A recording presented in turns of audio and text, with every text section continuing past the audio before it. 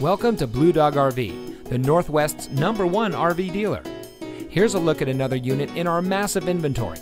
This beautiful toy hauler fifth wheel comes equipped with triple slides, 11 feet of cargo room, an awning, walk around queen bed, living area television, large kitchen sink, shower skylight, kitchen island, front bedroom, entertainment center, bathroom shower with a seat, slide out wardrobe, living room fireplace, TV hookup in bedroom, sofa with table, residential refrigerator, bath and a half, slide out kitchen, sofa slide out, garage area loft, two entrances, and sleeps up to five people.